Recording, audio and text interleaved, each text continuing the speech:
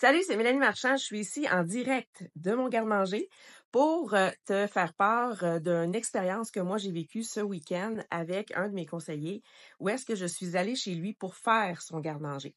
Alors, euh, étant un conseiller COVID, je dirais. Alors, lui, il a commencé son garde-manger et tout récemment, il vient de déménager dans une maison qu'il a construit lui-même, qu'il a fait construire, mais il a tout désigné euh, sa cuisine et il a un grand, grand, grand, grand, grand, c'est une pièce, OK, son garde-manger.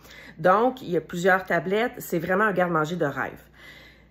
Et là, dans le fond, dans le déménagement, ça fait à peu près un mois qu'il est là il a défait les boîtes, il a placé les affaires à peu près, il a euh, mis ça là, un peu partout, un peu n'importe comment, tout en mettant aussi, parce qu'en tant que conseiller, il s'était quand même organisé, donc avec la section, je dirais plus la section pâtisserie, donc tout ce qui était farine, sucre, cassonade, gruau, tout ça, c'était quand même bien organisé, c'était dans des modulaires, adaptés, mais le reste, il y avait beaucoup de sacs, il y avait beaucoup de boîtes il y avait beaucoup de pêle-mêle. Si tu cherchais les croutons, tu pouvais peut-être chercher longtemps, ou une collation, ça se pouvait que tu trouves pas vraiment ce que tu voulais.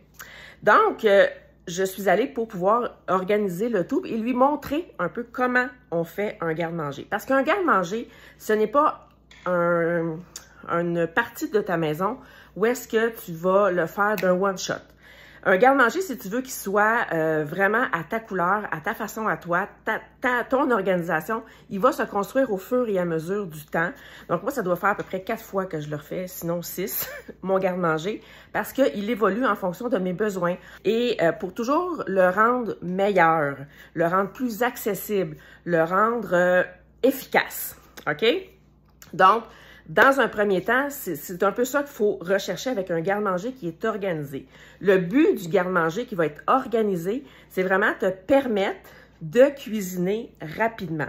C'est te permettre de ne pas chercher. C'est te permettre de d'avoir un, un visuel rapide, OK, un repère de tes ingrédients clés de ta base pour pouvoir cuisiner. Donc, il y a différentes sections que tu vas pouvoir établir et tu vas regrouper ensemble tout ce qui va ensemble. Ça, c'est la meilleure façon de pouvoir y arriver. Euh, on élimine beaucoup, beaucoup, beaucoup, beaucoup, beaucoup de sacs de plastique, de boîtes de carton. C'est des façons de... On les achète, on n'a pas le choix, c'est comme ça, à part d'aller dans des magasins où est-ce que tu prends directement ton contenant et le remplir avec le vrac. Mais sinon, on n'a pas le choix pour le transporter à la maison le fait de euh, utiliser les modulaires, c'est que ça va te permettre d'avoir un gain d'espace. Ce qui est important quand on fait un garde-manger, donc, il faut commencer à quelque part, OK? Donc, on y va avec ce qu'on a, donc les contenants que vous avez peut-être déjà, puis après ça, ben en fonction des besoins ou des nouvelles habitudes que vous allez mettre en place, à ce moment-là, on va venir adapter. Donc, la quantité que vous achetez le plus régulièrement, c'est le contenant dans lequel vous allez identifier que ça, c'est lui, ce contenant-là, il sert à mettre le riz. OK? Ce que vous allez découvrir, OK, c'est votre maladie mentale. Alors, euh, en faisant ce processus-là, vous allez découvrir que vous avez une certaine petite maladie mentale qui s'appelle d'acheter en grande quantité un ingrédient euh, que vous pensez que vous n'avez pas. D'accord? Alors là, j'ai des exemples à ne plus finir. Donc, moi, j'avais Leila qui avait acheté des lentilles parce qu'à chaque fois qu'elle allait à l'épicerie, elle achetait un sac de lentilles parce qu'en en voyant le sac de lentilles, elle se dit « Ah, faut que je fasse cette recette-là. » Mathieu, lui, a découvert qu'il y avait vraiment une maladie grave au niveau du café. Au niveau des... Euh, chez Costco, quand le sac est en spécial de pretzel, le petit craquelin, il peut pas s'empêcher d'acheter un sac. Mais là, il s'est rendu compte qu'il y avait comme trois sacs d'avance. Fait que là, je pense qu'il s'est dit, ah, peut-être que le prochain spécial de pretzel, je vais laisser faire. Alors, euh, c'est ce que ça va vous permettre. Inquiétez-vous pas, ça, ça se guérit très, très, très facilement. Cependant, vous allez voir que peut-être que ce budget-là que vous avez attribué, dans le fond, à ces ingrédients-là, c'était peut-être pas tant nécessaire. Vous auriez pu le mettre ailleurs. Donc, c'est là où l'organisation, comme vous allez le voir, va vous aider à venir économiser à petite échelle des petits 20 dollars à gauche et à droite. À un moment donné, ça fait des 100 dollars. Donc, c'est ça qui va vous permettre de mettre ça priorisé sur d'autres choses. Ça va vous permettre aussi, quand va être le temps Donc, préalablement à l'achat de l'ingrédient, avant, il faut aller faire la liste de l'épicerie. Donc, visuellement, vous allez voir qu'est-ce qui vous manque. C'est quel l'ingrédient, quels sont les ingrédients qui sont nécessaires? Donc, si moi, je prends par exemple ici, je sais très bien que du gruau, donc mon gruau, il est ici. Alors, le gruau, mon contenant, il est vide. Donc, quand je vais passer devant le gruau, parce que visuellement, mon cerveau l'a enregistré, il va dire du gruau, j'en ai besoin. Le troisième avantage qu'on a aussi au niveau des euh, modulaires, c'est que vous allez économiser beaucoup, beaucoup, beaucoup d'espace. Donc, euh, on n'a pas tous des garde-manger à la Mathieu. On a euh, différentes sortes de garde-manger. Il y en a que c'est dans une armoire, il y en a que c'est en dessous d'un cabinet. Il y, a, toutes sortes de garde-manger.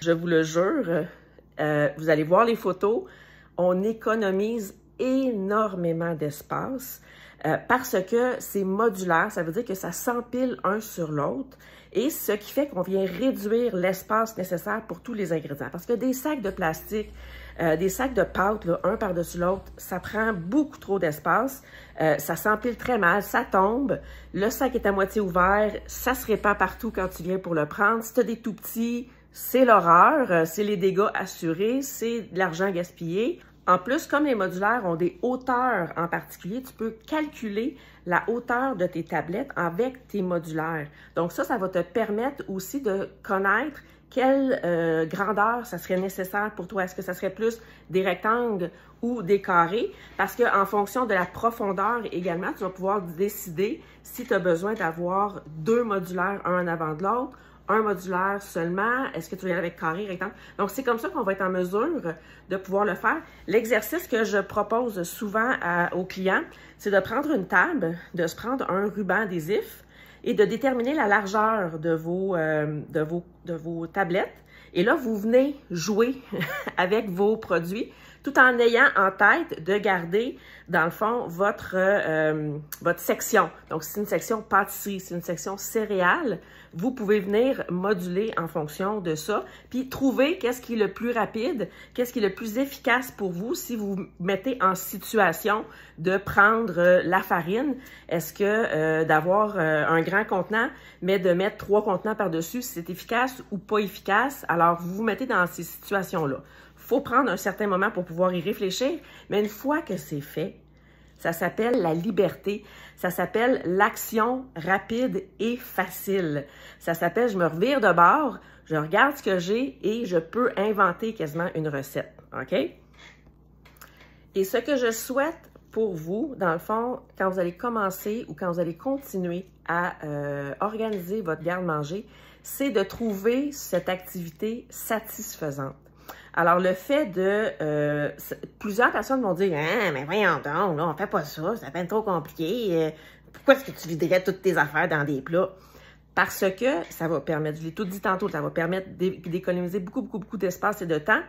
Mais vous allez trouver cette activité très satisfaisante, puis vous allez voir à quel point Tupperware, c'est pour s'organiser, c'est pour sauver de l'argent, euh, les produits Tupperware, c'est pour aussi mieux manger, donc on va pouvoir cuisiner maison facilement, mais c'est aussi faire un effort pour euh, tout ce qui est la pollution, donc le précyclage. Donc, ça va nous, vous allez voir à quel point euh, il y a beaucoup d'emballages. Donc, peut-être que même dans vos choix, il va y avoir des, des, choses qui vont même s'améliorer parce que vous allez prendre conscience. C'est peut-être plus économique d'acheter un gros, gros, gros sac de, de pâtes parce que ça dure éternellement. Euh, versus plein de petits, tout en calculant aussi le rapport qualité-prix, si ça vaut la peine. Avoir des modulaires, ça fait souvent rêver. Moi, ce que je vous dis, c'est commencer à petite échelle. Prenez ce que vous avez déjà. Faites juste ouvrir votre garde-manger, là, tout de suite après, là. Ouvrez votre garde-manger. Regardez ce que vous avez comme sac. Sortez-les sur le comptoir. Prenez vos, vos modulaires que vous avez probablement déjà transvidez-les directement tout de suite. Là. Faites ça là, là, pendant que c'est le temps, on en parle. Placez-les dans vos armoires et regardez comment l'effet que ça va vous faire, la satisfaction que vous allez y trouver. Et ce, cette satisfaction-là, là, essayez de la reproduire autant de fois que vous pouvez. Vous allez voir, ça devient quasiment addictif. Puis on, on a juste envie d'en faire encore plus et encore plus parce qu'on y trouve une paix, la charge mentale, le fouillis. Et quand tu donnes un ordre à un enfant ou un conjoint, si c'est lire, normalement, il devrait même trouver facilement. D'habitude, ça marche.